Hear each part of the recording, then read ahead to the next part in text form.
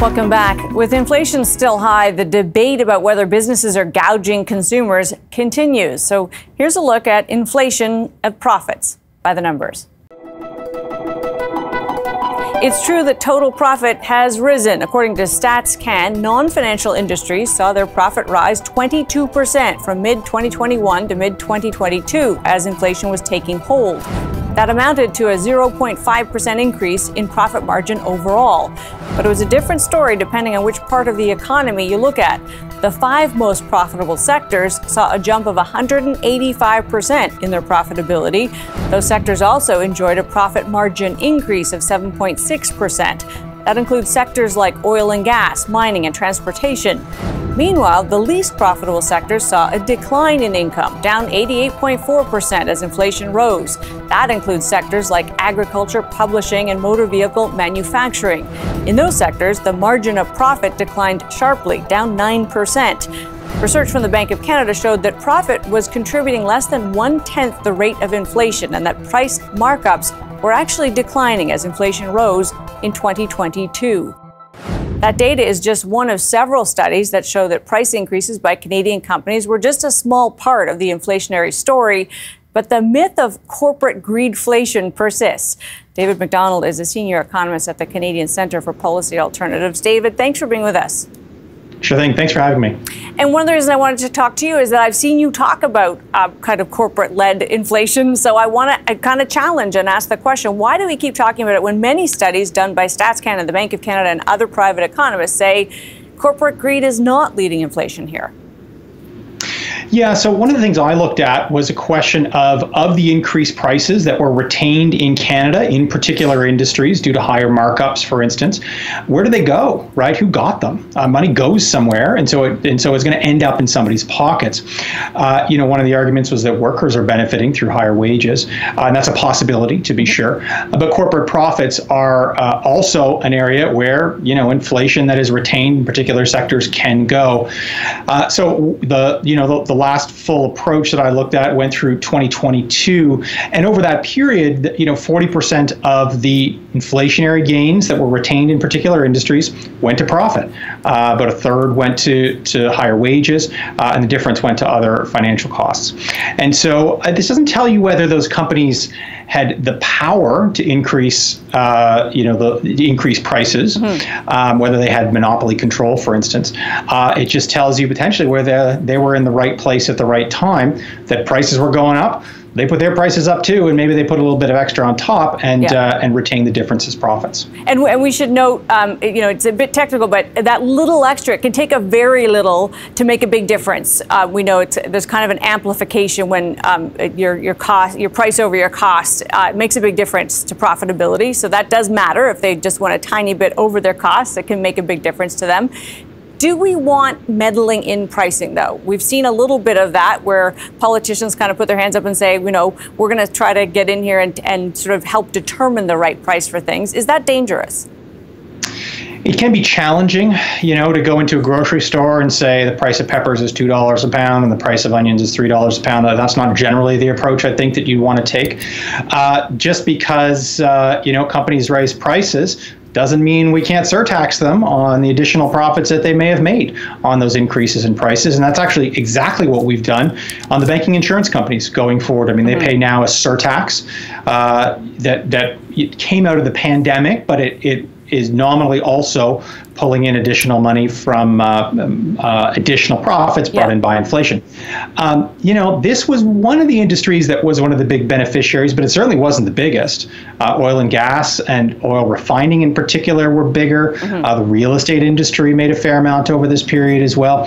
Uh, you know, so potentially there's an argument for this tax that's in a particular sector to be yeah. expanded more broadly, um, even to things like grocery stores. And this is certainly something under consideration. So there is certainly a precedent for it. Only, only about 30 seconds here, David. But does it make you uncomfortable at all that that it a surtax like that is also basically saying we're going to determine centrally the right amount of profit? What is enough profit uh, when you know for a healthy economy? We do want companies to be profitable. That's the goal. Yeah, I mean, we do want companies to make profits, but we don't want them to make excess profits and make profits just because they're in the right place at the right time. I mean, those those kinds of rents, as it were, are, are exactly the right type of thing you want to target for corporate profits because it's not like we're inhibiting, um, you know, some sort of corporate innovation. Mm-hmm. They just happen to be in the right place at the right time uh, to to benefit from this boom in inflation. That's exactly the type of thing that's a great target for corporate taxation and, and excess profits taxes. So good to have you, David. Always appreciate your time. Thanks for having me. David Macdonald, Senior Economist at the Canadian Centre for Policy Alternatives. Company profit isn't a bad thing, especially if it's driven by higher productivity, which raises the whole economy's standard of living. But that only really happens in companies if companies take profit and reinvest in their own businesses. And that is something that has not been happening in Canada and not for years. Economists are sounding alarms on a problem that could be a drag on the whole Canadian economy. Bill Robson is the CEO of the CD Howe Institute. Bill, thanks for being with us. My pleasure. Sorry, it's a, a dismal topic, but it, uh, we, it, it's an important one. It yeah. is, but let's start with this question of uh, corporate profit isn't bad. It's actually what you want. Um, and yet we do keep hearing this theme that, that is to blame for inflation. Why do you think this keeps surfacing?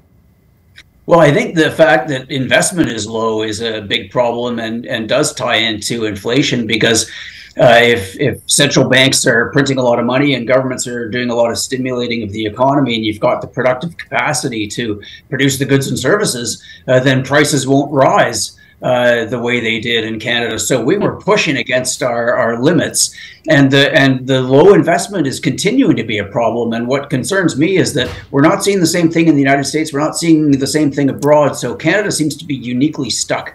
So let's drill into that a bit. Uh, we want businesses to be profitable because we want people to find it worthwhile to be in business, first of all. But the so called excess profit people talk about typically that works for everybody if it's reinvested uh, in new businesses, in new equipment, uh, in growth and expansion that makes new jobs. Uh, so profit can be a very good thing. But when that's not happening, what's the scenario? We are not seeing Canadian businesses making those investments. Well, no, we're we're not seeing them doing it at anything like the level that we would like to see. And just to make this concrete for people, uh, what we're talking about when we talk about these investments is actual new capital. Uh, so it could be warehouses, it could be excavators, it could be motor vehicles, it could be uh, information technology, it could be the software that we're using to communicate right now. And in Canada, the investment rates have been so low since the middle of the last decade that the amount of capital per worker is falling. Hmm. And that's no recipe for uh, rising wages. It's certainly not good for competitiveness. And so the profits that are being earned, first of all, businesses are, are just don't seem to be respond, you know, seeing the incentives, uh, and they don't seem to be responding to them. So, what is the solution to this? How do we get businesses doing what should be in their own interest? Well, I think it's a matter of both uh, carrots and sticks. Uh, on on the carrot side, I think we've got problems with taxes in Canada being a little high. Mm-hmm. Uh, I think because uh, other countries have been lowering their their taxes on business, and so we had a competitive edge, and we've kind of lost it. Um, and then there's the whole stick side as well. People have observed, and I think rightly, that there's not a lot of competitive pressure in some parts of the Canadian economy. And right now, the third thing that I'd add to it is just there's such uncertainty. Uh, if you're trying to invest in a big capital project in Canada right now, uh, with with governments kind of lurching around and, and making new policy announcements all the time, and sometimes even weaponizing the tax system, you know financial institutions are unpopular this year. We're going to hit them with an extra tax. Right. Uh, what that does is it scares people. It makes them back away from investments. Okay, only 30 seconds here, but on that point, we hear this talk of that surtax on excess profit, financial uh, services already being hit with it. Others could be a target bill. If they're not putting the profit back into the economy and their own businesses, is that fair game? Should it be taxed away? Well, I don't think that the governments are doing a very good job of investing the money any better. I mean, they call everything they do investments. The federal government thinks it's an investment when they pay a consultant to advise them how to spend less mm. money on on consultants. So no, I think the money is in the businesses, and what we need, I said, carrots and sticks, because we want to see more of that capital, uh, or we're going to be stuck in neutral here in Canada mm-hmm. while other countries are forging ahead. Bill Robson, great to have you with us. Appreciate your time. Thank you. Bill Robson is CEO of the CD Howe Institute. Coming up, big telcos will be forced to share their networks with smaller rivals. Is that a victory for Canadian consumers or an unfair blow to the incumbents? That's still ahead. But first, like the rude uncle who only shows up on holidays, Adidas had to deal with its Yeezy problem again. In its outlook for the year, the shoemaker said it may write off up to $320 million of Yeezy shoes it has sitting in inventory after it cut ties with Kanye West. Adidas has been quietly selling some of its Yeezy stock, a move that helped it narrow its projected loss for this year. But the cost of its association with West continues to be counted. And unlike your weird uncle, companies can choose whom they invite to the table. We're back after this.